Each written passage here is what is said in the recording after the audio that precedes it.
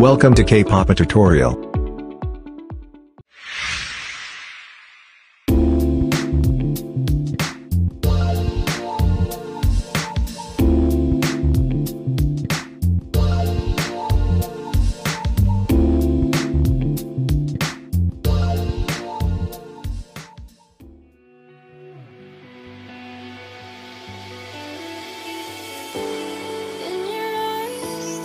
Heavy blue.